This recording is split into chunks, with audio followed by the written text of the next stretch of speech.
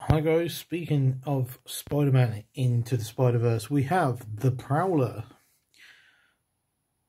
Not a bad little figure. Uh, the cape's a bit weird with this little spike on the back, but on the whole quite good. Even put details under the cape. So if I can fold this up without damaging it. You see there's a few details on the back there.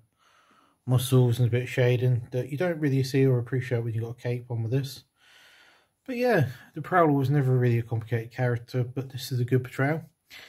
So he will join our villains in our uh, Spider-Man multiverse of Lego and custom bootleg figures.